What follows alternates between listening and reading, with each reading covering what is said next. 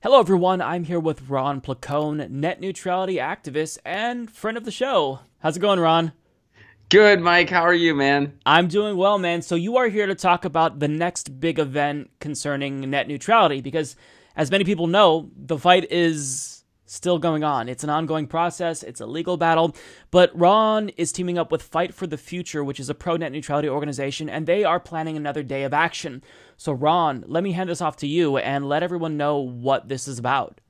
Yes. So on June 11th, it will mark one year since the FCC repealed net neutrality. The Trump FCC repealed net neutrality, which, you know, as I, I know uh, pretty much all your viewers and listeners know, net neutrality is what assures we have a free and open internet. Without it, the internet will not look, it will be an unrecognizable internet. That's the potential if we lose net neutrality. Uh, so since that time, as you indicated, we've been fighting very hard. There have been state bills. There have been uh, attempts to get Congress to overturn what the FCC did. Uh, there's been a growth of municipal broadband. There's been all kinds of fights uh, going on here. One of those fights was to save the internet bill. That bill was just a three page bill. I know you covered it a lot on the Humanist Report. I covered it on Get Your News On with Ron. And that bill basically said, hey, those net neutrality, uh, that repeal of net neutrality, we're nixing that. We're going back to what we had. We're getting net neutrality back. It was a three page bill. It was very simple. It passed the House, but then Mitch McConnell promised that it's dead on arrival in the Senate. So, unfortunately, what we've seen now is that some of the Democrats have kind of uh, withered a little bit, and they're saying, well, we're willing to compromise on this. And again, as we both know, there have been some quote unquote compromise net neutrality bills that Republicans have proposed that don't give us net neutrality at all. If we don't have Title II protection, we don't have net neutrality. It's that simple. So, Fight for the Future is organizing an epic live stream on June 11th to let the FCC and Congress know that we, the people, demand net neutrality. Net neutrality has over 80% support amidst uh, citizens.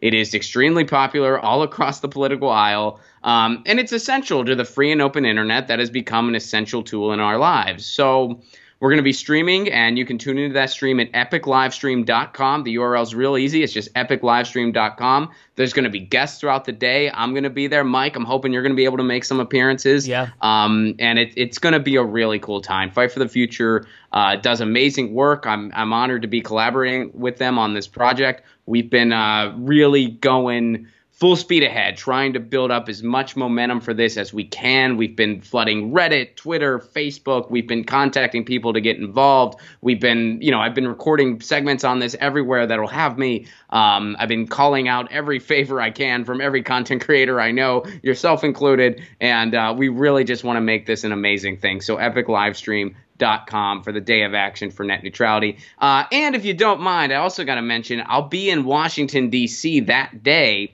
and we're still working out the details on this, but it looks like we might be uh, giving a petition to Mitch McConnell's office that will have signatures and so forth of people demanding net neutrality. So it looks like we're going to try to do that, and we're going to try to live stream that event uh, as part of the live stream on June 11th. And the reason I'm going to be in DC is because we have the East Coast leg of the Progressive Comedy Tour right after June 11th. June 12th, we'll be doing DC.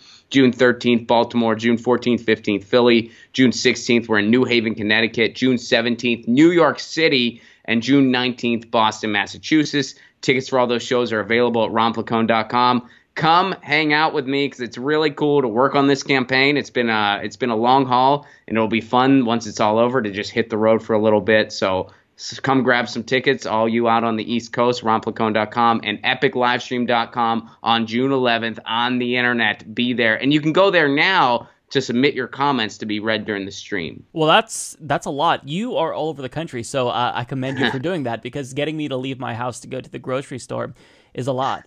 Um, so the fact that you're doing this is phenomenal. And if you actually got footage of you delivering a petition to Mitch McConnell, I'm assuming one of his aides, that would be amazing because really he's the one obstacle. Like in the event this was voted on, if the Save the Internet Act was voted on in the Senate, in the event a vote were allowed, what do you think the chances would be of that passing? I think there's a chance. I don't think it's a very high chance, and, I don't think there's like a, a very high chance of Trump signing it either. Right. But what that would give you is it would really give leverage heading into 2020. Uh, it's incredibly unpopular to go against net neutrality um, on both sides, on the left and the right, to go against net neutrality. So this is something that you know the Democrats could. I we can't guarantee they will, but they could. Uh, you know, really bank on and really make it a big platform point. Uh, the only candidate who has spoken about universal broadband across the country thus far, to my knowledge, uh, has been Bernie Sanders. Hmm. Bernie Sanders talked about it a little bit in Iowa. Um, he actually brought up a lot of kind of key issues that often get overlooked because of everything that's going on right now, but there's still some very important key issues. He talked about getting back to local farming uh, which I think is a huge issue in our country that that often goes on, you know, not talked about, but it would solve a lot of other problems too, as, as far as food deserts and stuff like that. Uh, and he brought up the idea of universal broadband across the country, which of course uh, would be the ultimate way to preserve a free and open internet. And, and you know, the way I look at it, and we've had this conversation, Mike, if we don't have a solid communication platform, which today is the internet, that's what we rely on how can we get anything else done? You know, if we're just uh, basically just tethered to the corporate media, uh, think of all the information and all the ideas and all the perspectives that would just knock it out there. We wouldn't have had a clue what was going on at DAPL. We yeah. wouldn't have had a clue what was going on with, with Black Lives Matter. We wouldn't have had a clue uh, what was going on with any teacher strike anywhere.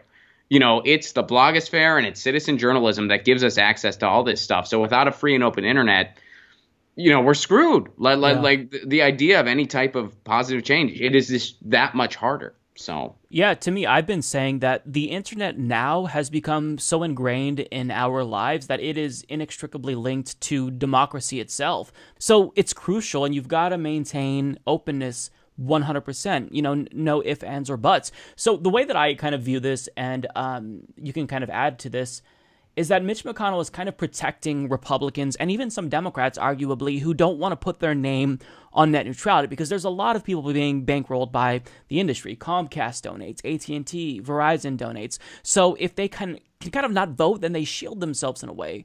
Is is that kind of what you see, or is Mitch McConnell just being a douche and blocking everything like he usually does? Because I think this is a little bit more tactical. Hey, Lucy. Well, if those are my if, if those are my only two choices, I'm going to go with both. Yeah, yeah, yeah. but no, I mean, no, you, you make an excellent point, and that's very, very true. Uh, of course. Now, that, that, that's not to say he isn't also just a douche. Yeah, I, yeah, I yeah. feel like I feel like you nailed it on both of those. but uh, Lucy agrees. Yeah. She likes you, man. She's just chilling here. Lucy and I go way back. Lucy, do you have anything to add to the conversation? No, per, she's just chilling. Per, she wants a free and open internet. Um, but yeah, like I think that is very true because yeah, it would have a long hurdle to overcome in the Senate, and it, it would certainly not be likely to get a signature from Trump. But it would then give leverage.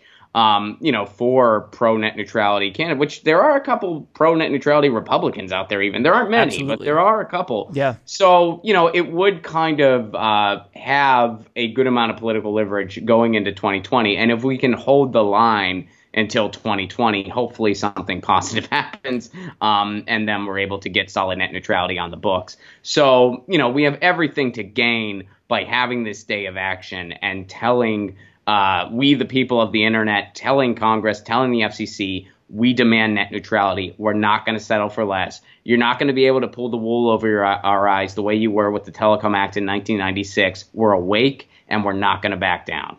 Yeah, the reason why I say that is um, it's because everyone wants you to think that they support net neutrality. Like even Marsha Blackburn, I'm sure everyone remembers she proposed like the shell net neutrality bill that actually was anti net neutrality, but everybody yeah. wants you to think that they support net neutrality. But if they don't support the Save the Internet Act, they don't. And I don't think they want to show right. their cards just yet. So, one more time before you go, Ron, tell us where to find the live stream and uh, let people know how they can help spread the word epiclivestream.com. That is the URL for the live stream. It's just epiclivestream.com. June 11th is the day a day of action. It's going to start around 8 in the morning Eastern time and go all day. Uh, how you can help, please do share that URL, spread that URL. Uh, you can go to that URL now and submit comments if you want them to be read. Um, if you want to participate in the stream itself, there's an email where you can do that as well. Um, and yeah, that's happening on June 11th, epiclivestream.com. I'll be on the East Coast right after that for the Progressive Comedy Tour, ronplacone.com for those tickets. And uh, yeah, as, uh, as Fight for the Future likes to say, it's up to us to keep the internet weird, and that's what we're going to do. Absolutely. And look, it's important that we make a lot of noise because, I mean, with, with any political issue, the momentum kind of tends to die down after a while. And currently, we're in this stage in the net neutrality fight where we can't really do too much, right? It's, it's happening legally. We are pressuring lawmakers and whatnot. But if we still make noise as individuals and let people know, let lawmakers know in particular that we still care deeply about net neutrality, then I think that this benefits all of us. So June 11th, um, I'll be there, and yeah, I'm definitely looking forward to this. Kudos to Fight for the Future. They have been on it ever since this issue became an issue, and I really appreciate everything that they're doing. Yeah, me too. They do some great work, and it's been uh, it's been a privilege to work with them. And yeah, epiclivestream.com. Mike and myself will see you all on June 11th. Be there, be there, or I'm going to be very disappointed in you. Don't disappoint me. Mike is a total loser, so don't hit the subscribe button, okay? And whatever you do, folks, do not hit the notification bell either. Mike treats me so unfairly.